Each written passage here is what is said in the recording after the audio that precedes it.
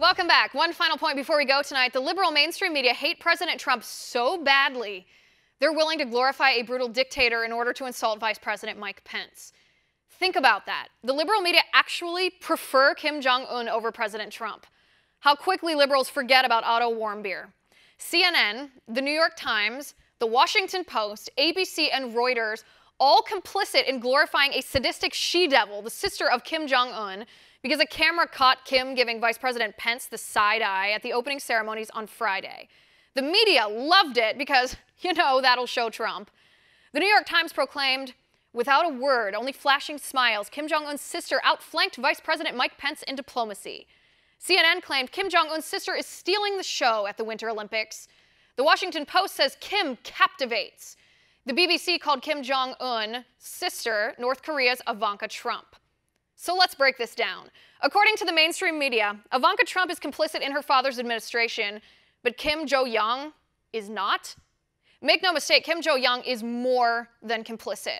Her family runs the gulags in North Korea. She herself is the director of propaganda. And what she's doing at the Olympics is literally living propaganda. And the mainstream media is falling for it, empty liberal head over tyrant's heels. According to Reuters, North Korea has been judged the winner of diplomatic gold at Olympic at the Olympics. And their article quotes a person who claimed Kim's smile made North Korea appear to be a normal state. A normal state? Is it normal to you to starve your people to death? Is it normal to you that North Korean hockey player John Soo Hyun said playing at the Olympics felt like competing in heaven, but her translator corrected her interpretation to it felt like I was competing in my own country? Does that sound normal to you? Is it normal to sadistically torture a 20 year old American college student because he swiped a propaganda sign from a hotel room? Kim Jong un's sister is a monster, a killer, a torturist. She's proudly representing a regime that last time South Korea hosted the Olympic Games, her country blew up a commercial airplane midair, killing 115 people on board. That is not normal. Also, not normal, the way the liberal media is fawning over an evil killer. Does the media want North Korea to win here? Do they truly hate Donald Trump with such a fearsome loathing that they're willing to ignore the millions of people who were starved to death by Kim Jong un? The hundreds of thousands of North Koreans who were killed? The advisors who were assassinated? The citizens who are plagued with cancer from the radiation of Kim Jong un's nuclear test site, which he places amongst his people? Is the liberal media willing to ignore the 100,000 prisoners who are kept as slaves of the regime? Or the fact that Kim Jong un's propaganda ministry refuses to report the death counts from his prison camps because the numbers are so enormously damning.